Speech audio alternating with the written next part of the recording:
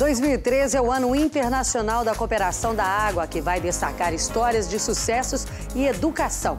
Uma iniciativa da ONU para incentivar o uso racional da água, que é vida, mas também pode causar a morte. Com forte calor, muita gente se aventura em rios e lagos e acaba morrendo afogada. É disso que vamos falar no Opinião Minas desta terça-feira, 8 e meia da manhã. Até lá!